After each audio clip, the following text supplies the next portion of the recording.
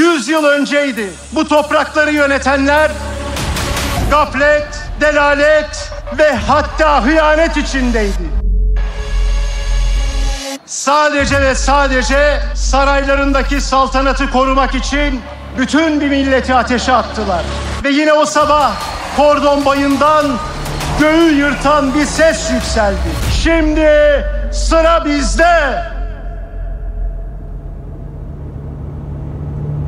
Akşamın flash haberi tabiri caizse İzmir Büyükşehir Belediye Başkanı Tunç Soyer'le ilgili soruşturma başlattığı İçişleri Bakanlığı tam da yerel seçim öncesi. Vahdettin'le ilgili nutuktan yaptığı alıntıdan dolayı Tunç Soyer'le ilgili halkı kin ve düşmanlığa sevk etmekle ilgili soruşturma Emilia. Saiz'e bir e, mail atsın Onur. Benim adıma Dublin'e gelemeyeceğim için özür dileyen bir mesaj atsın.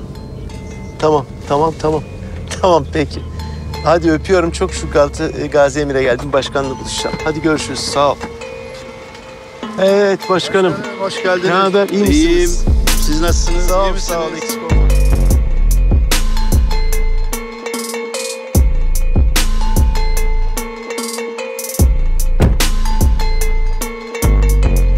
İzmir yaşanacak bir yer. İzmir tarihte çok eski bir yerleşim bölgesi, bir liman dolayısıyla da İzmir kimliği diye bir şey olduğunu hep düşünürüm ben. Ve bu kimlik birilerine verilmez. Bu kimlik birileri tarafından kolayca edinilir. Burası ne tarafta diye sorduğunuzda kim sizi tutarsanız İzmir'de. Herkes sizi oraya götürmek için aa gel bak şu tarafta diye e, yardım eder. İzmir halkı çok yardımsever, çok hoşgörülü, çok naif, çok sıcak. İzmir o kadar hoşgörü, o kadar eşit, o kadar Cumhuriyet'in değerlerine sahip olmuş ki inanılmaz derecede çocukları bunu aşılıyor. Aş, aşılayınca da çocuklar bir şekilde bunu dışa vurabiliyor. Siz o zaman o güzelleri görüyorsunuz. Güzellikleri görebiliyorsunuz. Özgüveni görebiliyorsunuz. İzmir'den çıkınca anlıyorsunuz bunu aslında. Biz de İzmir'in, hani Türkiye'nin başka şehirlerine gittiğimiz zaman geri dönünce "Ay, başka bir yerde yaşıyoruz biz galiba diyoruz kendi aramızda. Hakikaten öyle hissediyoruz. İzmir'in farklı olduğuna net bir şekilde in- katılıyorum size. Çok güzel bir şekilde farklı İzmir, öyle diyeyim. O anlamda özgürlüklerine çok düşkün, demokrasiye çok düşkün bir seçmen grubu. Kendini zaman zaman özellikle bu özgürlükler konusunda sıkılmış hisseden, bu nedenle de İzmir'de kendilerini güvencede hisseden bir seçmen grubu.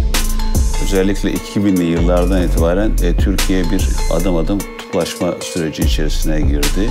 İzmir ağırlıklı seküler kültürden gelen insanların yaşadığı bir yer. Dolayısıyla e, yerel seçimler olsun, genel seçimler olsun oy e, kullanılırken e, bu esas üzerinden oylar belirlendiği için İzmir her zaman için mevcut iktidarın karşısında bir pozisyon aldı ve bu tercihini kullandı. Ya bir de İzmir aslında küçük bir yer. Yani İzmir'de hani herkes birbirini tanır. İzmirli İzmirliyi bilir. Yani hani ne kadar büyük şehir olsa, metropol olsa da hani o İzmir'in o sıcaklığı hiçbir zaman değişmez. O yüzden aslında bazen siyaset yapmak İzmir'de zor da. Çünkü birebir yani herkesi biliyorsunuz. Her zaman eleştirilere açık olmak gerekir ki İzmirli eleştirir. İzmir siyasetten genel anlamda, parti anlamında bağımsız olarak yaşayan bir kent. Modern yaşamın iç içe geçtiği, insanların bunu kendi alanlarında ve kentin genel alanında yaşadığı bir kent. Dolayısıyla İzmir'in kimin yönettiğinden ziyade kişi olarak beceri sahibi kimlerin yönettiği İzmir'e neler kattığı önemli. Modern yaşamı öngörene ilişkin bir seçiciliği var. Çağdaşlığı seçenlere yönelik bir seçiciliği var. Hep böyle oldu. Cumhuriyet'in başından itibaren de böyle olduğunu düşünüyorum. İzmirli seçmen açısından e, bakacak olursak e, yerel yönetim onlar için hükümete karşı koruyucu bir kalkan aynı zamanda.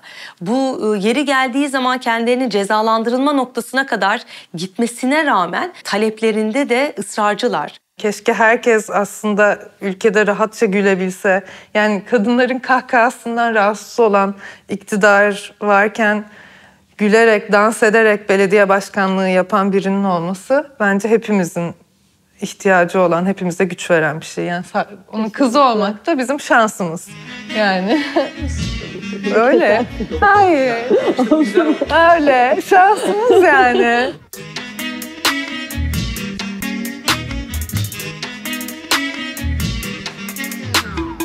İşe başladık 2019.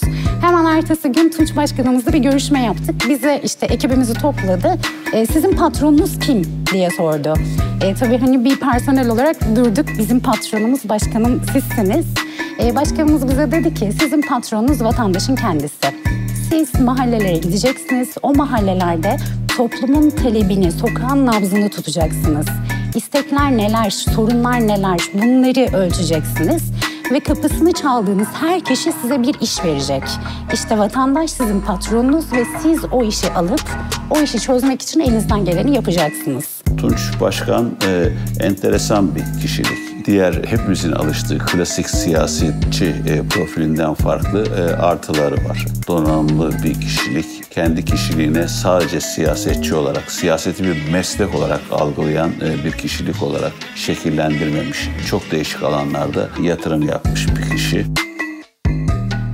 Bir kere kişisel donanımı oldukça yüksek. Birkaç yabancı dile hakim oluyor olması, yurt dışı masterları vesaireleri.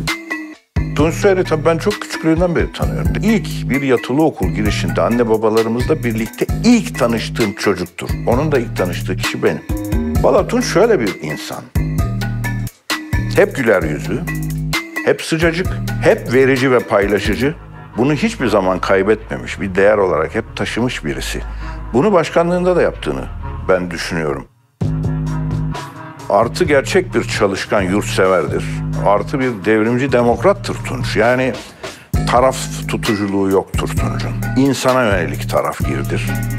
İzmir'in bu alanda Türkiye'ye öncülük ettiğini görmek hepimiz için gurur vesilesi.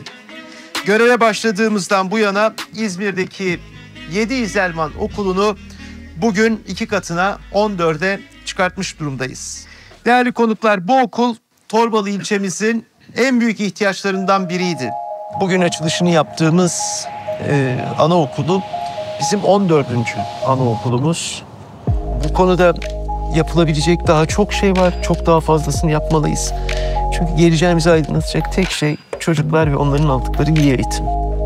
Yani bugün işte akranları Gazze'de bombaların altında can verirken e, bizim burada çocuklarımıza böyle bir imkan açıyor oluşumuz bir yanıyla da tabii buruk bir sevinç yaşatıyor. Ama bunu gerçekten Mustafa Kemal Atatürk'e borçluyuz. Cumhuriyete borçluyuz. Bu coğrafya bu kadar on yıllardır kaynarken biz yüz yıldır kesintisiz bir barış yaşıyoruz. Yani öyle bir egosu olan bir insan değil. Bu diğer şehirlerdeki insanlara göre çok daha farklı bir meziyet. Yaşam tarzı açısından, insan ilişkisi açısından, Avrupa ile veya dünya ile olan entegrasyonu açısından. Ya bir belediye başkanı, çok samimi söylüyorum, şakır şakır dil bilmek zorunda ya. Bu şehri turizm merkezi, turizm alanı yapmanız için sizin dilinizle anlatmanız lazım bir şeyi. Bu konuda en büyük şansımız ve karşıdaki insanı yaşayarak heyecanı aktarmak ve bunun gereğini yapabilecek olan bir iradede olmak, o konumda olmak hep bir artıdır. Bu e, Tuş Başkanı ayrı bir özellikleri. Tunç Soyer bana kalırsa sosyal demokrasiyi evrensel anlamda savunan bir siyasi lider her şeyden önce. Türkiye'de çok fazla yerel yönetici var ve çok siyasetçi de var. Bunlarda çok sosyal demokrat da var ama herhalde evrensel değerler çerçevesinde sosyal demokrasiyi bu kadar savunan ve bunu savunmaktan da çekinmeyen bir yerel yönetici Tunç Soyer. O bakımdan bana kalırsa çok kendi inançları, siyasi inançları etrafında şekillenen bir politika çizgisi de var. Ve bunu da kendi söylemlerinde bulmak da mümkün, icraatlerinde bulmak da mümkün. Ya mesela Çittaslow bile sadece hani Seferihisar'da başladı ama İzmir'e gelince şimdi bunu Çittaslow metropol yaratmalıyız o zaman.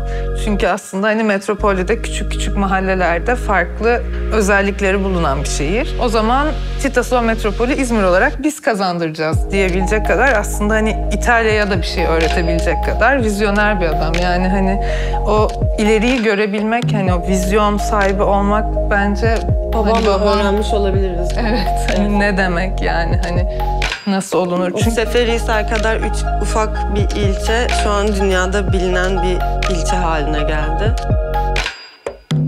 Daha küçücük Seferihisar Belediye Başkanı iken bu ülkeyi Chitta Slow, o Slow City kavramıyla tanıştıran bir yerel yönetici. Yani işte daha önce Seferihisar'ın adını duymayan insanlar Slow City kavramını duydular ve bunun Seferihisar'dan e, kaynaklandığını öğrendiler. Avrupa'daki birçok belediyeler birliğinin aktif üyesi. Biliyorsunuz e, çok farklı görevleri var bu pozisyonlarda. En son AB parlamentosu e, bölgeler meclisinde kendisi meclis başkanı oldu. Bu çok önemli bir pozisyon örneğin Türkiye içinde. Avrupa Komisyonu Bölgeler Meclisi Başkanı olmak hani kolay değil. Yani Türkiye'de ne kadar yeteri kadar takdir görmese de aslında yaptığı şeyler Türkiye'nin Avrupa'daki en büyük aslında koltuğu oldu. Laf olsun diye kimse oralara başkan falan yapmazlar. Oralar üstelik siyasetten daha bağımsız yerler. Gerçekten teknokrat özellik, bürokrat özellik, entelektüel özellik, siyasal, sosyal bakış açı ve becerileri bunların hepsinin ciddiye alındığı, bunların hepsinin değer bulduğu yerler. Dolayısıyla Tunç öyle bir adam. Tunç için söyleyebileceğim negatif bir şeyler düşünüyorum. Bu kadar mütevazi olmasa belki iyi. Ha, Tunç Başkan biraz da çok fazla iyi. Çok iyi. Ya bu kadar iyi olmasını ben bazen kızıyorum ya. Bak öz eleştiri olarak kötü olmak zorundasın. Bazen hayır demeyi aleni olarak bilmek zorundasın. Merhaba, nasılsınız, iyi misiniz? Sağ olun. Nasılsınız? Sağ olun. Sizi üzdük biraz buralarda. Ama değdi. İyi İnşallah oldu. iyi olacak, İnşallah daha daha, iyi da iyi olacak, daha Güzel, iyi çok olacak sağ olun. abi, Çok sağ teşekkür Bu Yüksel Çakmur'dan beri gördüğüm bir devrim aslında.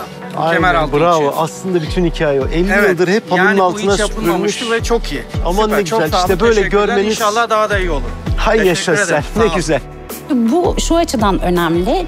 Ee, başkan ulaşılmaz değil. Başkan mahallede söz verdiği gibi halkın arasında onlarla birlikte iç içe ve mahalle sakinleri onu tanıyor. Bir şey olduğunda mesela ilk gittiğimizde kızım sana şunu söyleyeyim sen başkana söylersin diyorlardı. Şimdi Aa Tunç Başkan tekrar gelmiş. Bir müsaade eder misin? Başkanım geçen geldiğinizde şöyle olmuştu diye kendileri söylüyorlar. Tabii Tunç Bey kişisel özelliklerinden bahsederken yapı itibariyle zaten Tunç Bey'in tarzı şudur. Her koşulda zarafet, her koşulda nezaket. Sıcakkanlıdır. Sinirlenmez. Onun e, lükatında insanları incitmek, hele hele hakaret vesaire denkleminde asla yoktur. Çok ciddi bir sporcu kişiliktir. Çok erken kalkar. Yani çok kişi bilmez ama e, Tunç Bey e, üzerine güneşi doğurmaz. Evet önemli özelliği de yani hani bize de her zaman belki babamın öğrettiği şey yani hayattan keyif almayı bilmek. Hani her anını gerçekten güzel yaşayabilmek Dolu yani. dolu. Her sabah da Ya bize bir anlatışı var. İşte sabah 6'da kalkmış al- karanlıkta ve geri geldiğinde şöyle anlatıyor.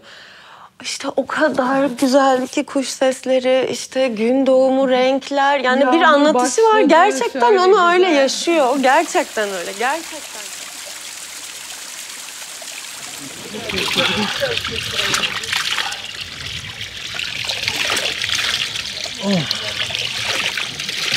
Gerçekten çok soğuk.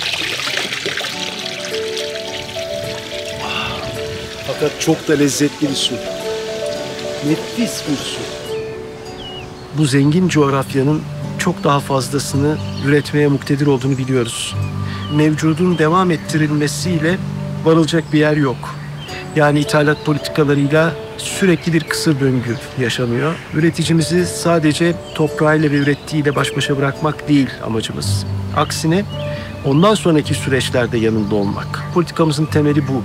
Onun için yerli tohumlar çok önemli, yerli hayvan ırkları çok önemli. Bu yoksulluk, bu kuraklık bir kader değil. Ve ben e, bu makus talihin yenileceğine inanıyorum.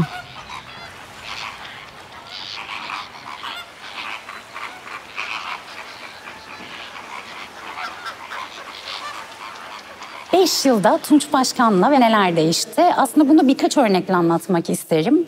Biz mahallelere gittiğimizde bize şunu söylüyorlardı.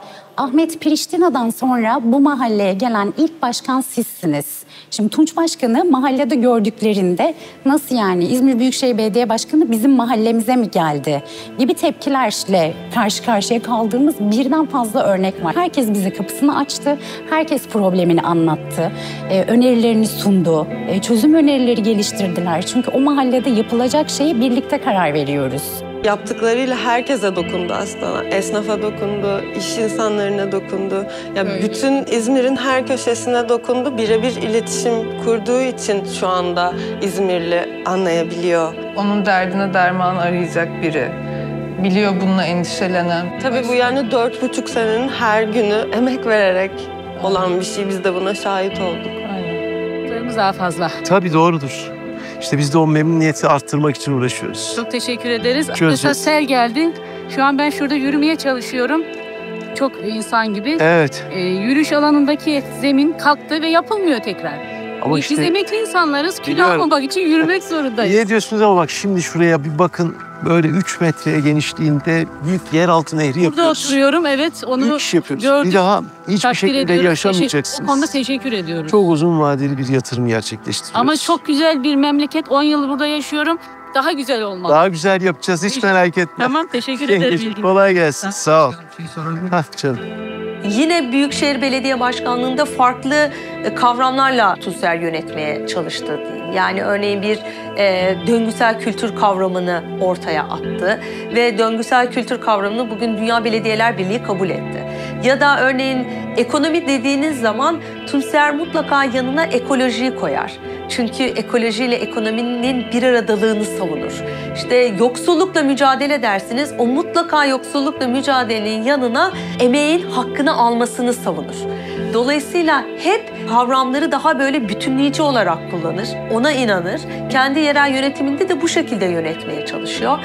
Bu bazen eleştiri oklarına da almasına neden olabiliyor. Yani işte Tunçer'i örneğin fazla bazen Av- Avrupa'daki belediye başkanlarına benzetiyorlar. Ama şunu unutmamak gerekiyor. Tunçer İzmir Büyükşehir Belediye Başkanı. Ee, dolayısıyla bunu yapabileceğiniz, en gösterebileceğiniz en rahat şehrin de ben de Büyükşehir'in de İzmir olduğunu düşünüyorum. Tunçer İzmir'i ülke siyasetine karşı bir panzehirmiş gibi düşünür. Sadece bugün burada İzmirliler, bugünkü İzmirliler için değil, hani çocukları, torunları için bir şehir bırakmak için belediye başkanlığı yapıyor aslında babam. Yani 2050'deki İzmir'de ne olacak? İşte sular, su seviyesi nasıl olacak? Hani her şeyi düşünerek aslında bir plan yapmaya çalışıyor. O yüzden de altyapıya yatırım yapıyor. Çünkü belediye başkanları genelde görünür şeylere yatırım yapmayı seçmiş bu zamana kadar. O yüzden İzmir'de yeteri kadar altyapı yatırımı yoktu. Ama bunlar tabii... İnsanların da en çok şikayet ettiği şey bu. En çok problem yaşadığı yani günlük hayatlarında. Yani körfezin temizlendiğinin kanıtı olan bir mercan türü boncuk mercanı mı? Mor boncuk mercanı var. Mor boncuk mer- mercanı. Olduğu noktaya daldık. 3 sene önce bu noktaya dalmıştım ve sürekli bu noktalarda dalıyorum. Burada sadece 2-3 dal vardı 3-4 sene önce. Evet. Şu anda kayaların Bu kayalar üstü olduğu gibi sarılmış. Bu çok olumlu bir gelişme. gelişme bizim için. Ben yüzmeyi orada öğrendim. Körfez'de öğrendim. Yani kerenin üzerinden balıklama atlamayı öğrendim. Yüzmeyi öğrendim. Biz 50 sene e, inanılmaz bir biçimde tahrip etmeye, zehirlemeye, kirletmeye devam ettik. O çiğli arıtma tesisi yapıldığı günden itibaren hiç revizyon görmemiş, hiç restorasyon görmemiş. Dördüncü fazını yapıyoruz. Hem dördüncü fazını yapıyoruz hem ara istasyon yapıyoruz. Yer altına 100 bin metreküp su arıtacak yeni bir arıtma tesisi yapıyoruz. Bunlar gözükmüyor. Gözükmeyince ne yapıyor bu adam? Ne yapıyor bu Büyükşehir Belediyesi diye düşünüyor. Ama biz o körfezde çoluk çocuk yüzeceğiz.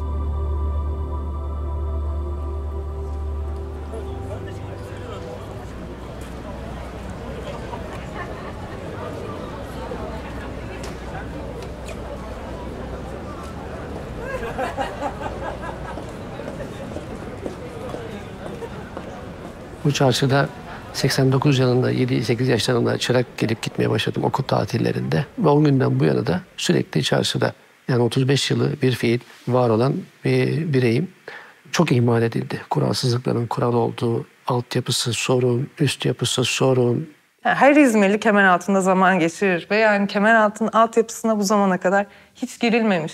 Yani böyle 50 yıllık, 100 yıllık hatta sorunları çözmeye çalışan bir belediye başkanı. İlk Tuş Başkan'a gittiğimizde en büyük dileğimiz onların bizi anlaması ve kabul etmesiydi. Bu kolay bir şey değil. Ama masaya oturulduğu zaman Tuş Başkan'la ben Kemeraltın altyapısına girmek istiyorum dediği an ben çok samimi söylüyorum gönülden çok büyük bir siyasi risk aldığını ve bu konuda çok büyük bir mütevazilik gösterdiğini ve vizyonunu ortaya koyduğunu ben daha çok tanık oldum. Bize hiçbir zaman hayır demedi İzmir Büyükşehir Belediye Başkanımız Sayın Tunç Soyer ve bu altyapı e, çalışmalarının startını verdi. Ve en sonki yaşadığımız yağmurlarda falan bunu da gördük ki sistem çok iyi çalışıyor. Biten sokaklarda müthiş bir görüntüler alıyoruz. Bu bizim için çok büyük başarı ve kazanç. Yani bu evet çarşının geleceği şu anda İzmir Büyükşehir Belediyesi ve Tunç Soyer Başkanımızın vizyonunda müthiş derecede ileriye doğru gidiyor. belediye başkanları altyapıya yatırım yapmak konusunda pek atak olmazlar. Yani biraz çekingen dururlar çünkü yapılan iş gözükmez. Yani hem nereye gitti bu paralar sorununu yaşarsınız hem de ya ne yaptı bu belediye hiçbir şey ortada yok sorununu yaşarsınız. O nedenle belediye başkanları bu işlerden kaçınırlar. Kolay kolay girmezler. Ama bizim bu memleketin geleceğiyle ilgili derdimiz olduğu için de devam edeceğiz. Siyasi risk tabii ki altyapıya girmek. Tunç Bey belediye başkanı olarak diğer arkadaşlar bu iş bittiği zaman hiç yaranamayacaklar. Çünkü alta gömdüğünüz hiçbir şey gözükmüyor. Ve Tunç Başkan bu konuda irade gösterdiğinde bunun sonuçlarının kendisine ne kadar zorlayacağını düşünmedim. Düşündü. Ama birisinin o delili yapması lazım. Ama bunu yaşamazsanız da İzmir'in bir geleceğinin olmayacağını bilmek gerekiyor. Dolayısıyla biraz geleceğe kurgulayan bir e, belediye başkanı Tunç Soyer. Bugününün anlatılmasında fayda var. Belki bugünün iletişimini biraz daha kuvvetli bir şekilde o gelecekteki geleceği nasıl kurguladığını bugünden daha fazla anlatması gerekiyor diye düşünüyorum. Vallahi tabii şöyle bir de bunu anlamak mümkün. Birçok siyasetçi biliyorsunuz yaptığından çok fazlasını yaptığını iddia ederek yükselmeye çalışır. Tunç'un ben son zamanda yaptıklarıyla ilgili çok fazla konuştuğunu da görmüyorum. Yani birçok şey yapılıyor İzmir'de. Bizim hayatımıza bir şekilde giriyor bunlar. Biz, ben kendim de yaşıyorum. Herkes yol yol yol diyor. Yol yapınca çalışma oldu ama oluyor. Ya da mesela işte İzmir kokuyor deniyordu. O yüzden başta önce körfezi temizlemek gerektiğine karar verip... Bunlar hep zaman alan iş. Hep zaman. Ve bunları aslında en hızlı şekilde tamamlıyor yani. Ve iyi ki de öyle. Yani şu an belki çok daha popülist olup çok daha görünür şeylerle oy kazanabilirdi. Ama o gerçekten doğru olanı hep yapmayı seçti. Ama belki de o hep doğru yapmayı seçtiği için biz bu kadar rahat destekliyoruz. Bir de gerçekten belediye başkanının hani yapması, gereken ya görevini yapıyor ve görevinin fazlasını yapıyor. Her zaman fazlasını yaptı.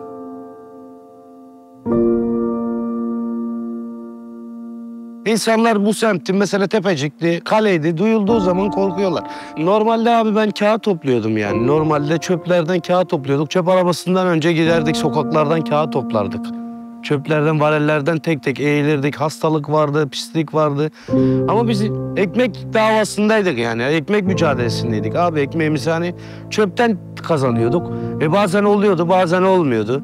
Ya insanlar yiyip içip atıyor ama geri dönüşüm sağlamak için merkez yok, bir şey yok. Burası bizim e, Büyükşehir Belediyesi'nin açtığı güzel sokak toplayıcılarına katkıda bulunduğu güzel bir iş yeri. Şimdi sokak toplayıcılarına hayat verdi Büyükşehir Belediye'miz. Hayata, doğaya, insanlara burayı kazandırdılar. Çok büyük ekonomi sağlıyoruz şu anda. Şuraya bakın kartonumuzu, plastiğimizi, naylonumuzu, ev sanatımızı Türkiye'yi temizliyoruz ya. Dünyayı temizliyoruz her tarafta ya. Türkiye'yi temizliyoruz. Bundan iyi bir şey olabilir mi?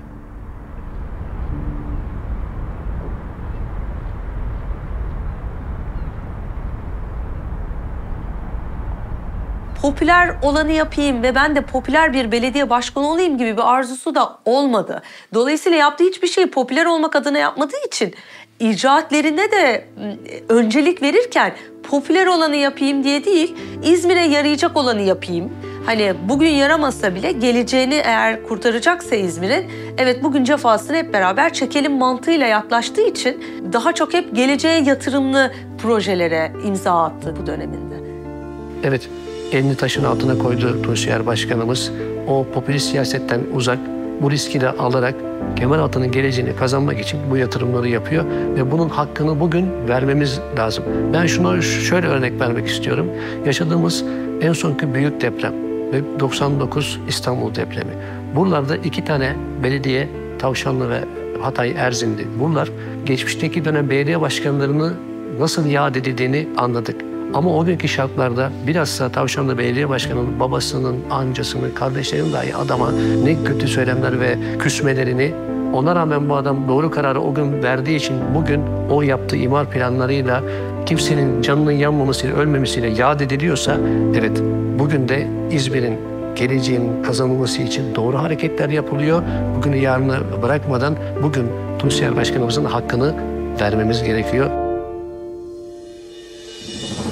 Ee, biraz bu Türkiye'nin de maalesef ki ne kadar içe kapandığını görüyoruz biz. Yani Türkiye o kadar içe kapandı ki son dönem ve biz ekonomik kriz o kadar baskın bir gündem haline geldi ki siyasi kriz ve ekonomik kriz dışında Türkiye zaten bir şey konuşamaz hale geldi. Oysa ki biz kafamızı biraz kaldırsak tüm dünyanın iklim krizi tartıştığını görüyoruz. Tüm dünyanın cam tavan meselesini tartıştığını görüyoruz. Yani dünya bugün farklı şeyleri, konuları önceliyor, tartışıyor. Biz maalesef o ekonomik kriz içinde bunların hepsini görmezden gelmeye çalışıyoruz. Bana kalırsa Tunsuyer işte o görmezden gelinen aslında bizi dünyaya bağlayacak meseleleri görmeye çalışan bir yerel yönetici. İzmir bu vatanın öncüsüdür. Tüm farklılıkların bir arada yaşandığı, özgürlüğün, kardeşliğin, barışın şehridir İzmir.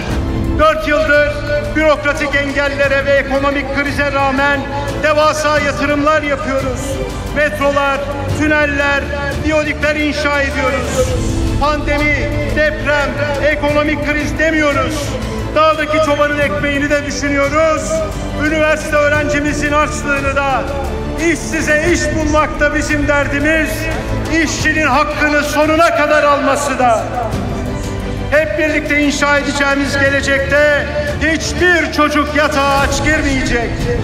Ülkenin her karış toprağına, havasına, suyuna, ruhuna şu üç kelimeyi nakşedeceğiz. Hak, hukuk, adalet. Ben gücümü halktan ve haktan alıyorum. Dolayısıyla yok öyle yağma. Sizden asla vazgeçmem. Çünkü siz bu memleketin geleceğisiniz. Göreceksiniz, başaracağız. Yeni bir yol bulmaksa bulacağız. Yeni bir yol açmaksa açacağız. Göreceksiniz, bir bedel ödeyeceksek de ödeyeceğiz. Hiç merak etmeyin. Umurumda değil. Umurumda değil. İstedikleri bedeli ödetsinler. Umurumda değil. Tabii e, birinci döneminde Tunç Bey yaptıklarının çok daha ötesine de e, geçebilirdi. Ama bir takım e, handikaplar devreye girdi.